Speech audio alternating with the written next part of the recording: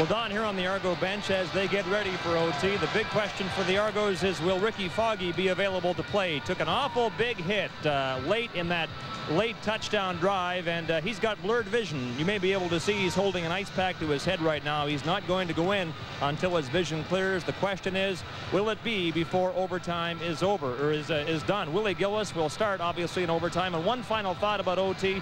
The Argo defense has spent about three quarters of this ball game chasing around the fleet-footed Doug Flutie. Had a word with a couple of the Argo defenders. They admit they're exhausted, and I wonder if they have enough left to play two five-minute halves. Don?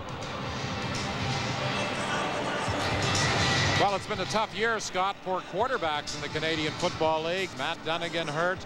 Uh, Rickey Foggie hurt now. Kent Austin out of the Saskatchewan lineup. John Congemi hurt over in uh, Ottawa. Well, when a football player is hurt uh, within the boundaries and when he's hit while he's up, uh, there's not much you can do about it, but you certainly want to eliminate football players being hit when they're already down. And uh, that looked like that was the case with Foggie. He was already down, and then uh, two more players piled on. Got penalized for it, but Foggie's out of the game. The Rocket will return the kickoff to start overtime. He tried to stay in bounds, but he ran out of room. And Willie Gillus continues to direct the attack. First and 10 from his own 54.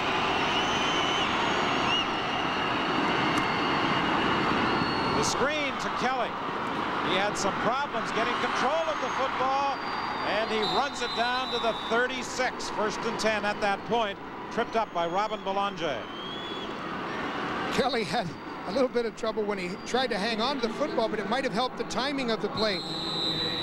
What it did is it gave uh, the offensive lineman a little more time to get downfield. Watch Kelly bobble it, but the offensive lineman now turn around. They look for people to hit. Keith Kelly beat out Kevin Smellie at training camp, and the Bishop, Bishop's product got the number one job. Dan Ferrone is the injured Toronto Argonaut. Well, that's an amazing guy, and you wonder why he hasn't carried the ball yet on this drive. Maybe that's why. They just want to come in there and make sure that every, somebody has to hit the pinball on every play. And this guy has certainly played on every play. He'll make five yards look exciting. A five-yard gain looks exciting when the pinball has the ball. Jet lag always has an effect when teams travel to the West Coast. Here's the reverse with Darrell Smith. That one was designed a little differently as Darrell Smith cut inside instead of going wide. Darrell Smith, if you ever saw him uh, just in uh, workout gear, shorts and a shirt. This guy is put together. I mean, he is built like Conan the Barbarian. And watch the way he makes that move back inside. People glance off of him. You don't usually see a receiver that can run with the authority that Darrell Smith does. Well, that's not going to make Adam Rita very happy. You don't want your special teams to be one man short. Violation. Whenever, what happens, like Ferrone was hurt, right?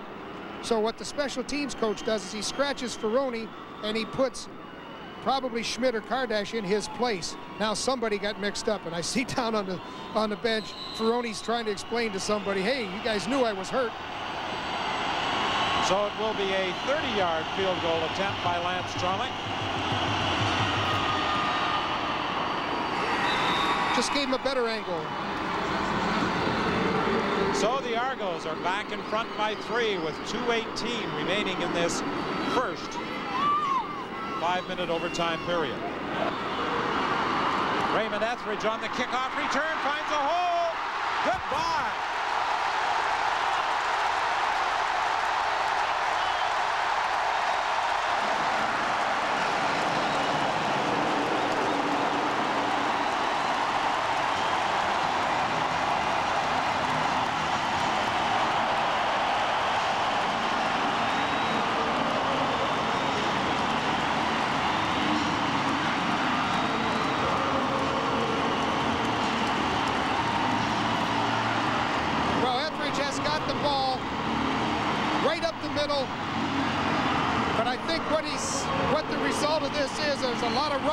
Out there. The defense for Toronto's been on the field too long.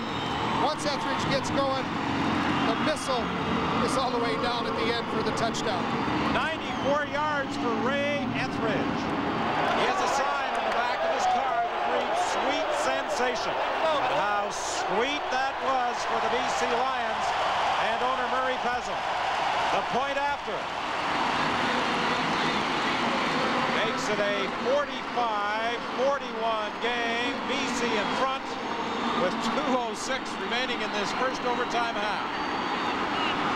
Etheridge just outran everybody, and it looked like Toronto, having played so much defense, just couldn't make that reaction that you need on special teams.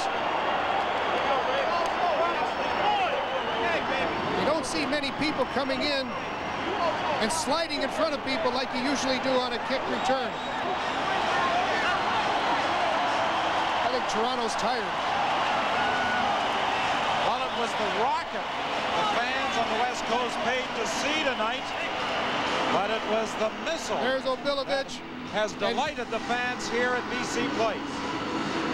Hobie and uh, his equipment manager, Cato, are celebrating together.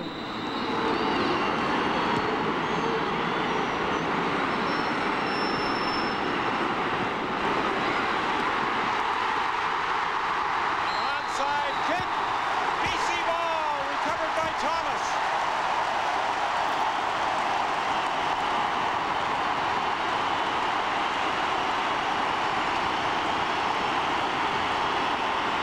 The Rocket let it bounce, something you cannot do on a kickoff, particularly when people are streaking downfield as Andrew Thomas was. It looked like he was looking for no yards, like he was waiting for the people to stay out away from him. That certainly isn't the rule. Watch him look for a no yards here. He's letting the ball bounce. Now he tries to do it, but it's too late. Thomas is really alert picking up the ball. First and 10, the ball at the 20-yard line with 152 remaining in this first overtime half. Flutie in all sorts of trouble, Manages to flip the ball away, incomplete. He threw that underhand. I wonder if that's intentional grounding.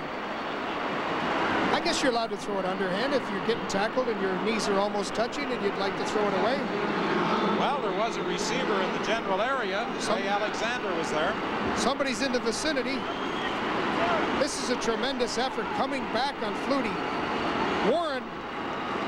Sort of keeps his ground and he knows that Flutie is one of those scramblers, but Hallman makes a big play and Warren is there to wrap him up.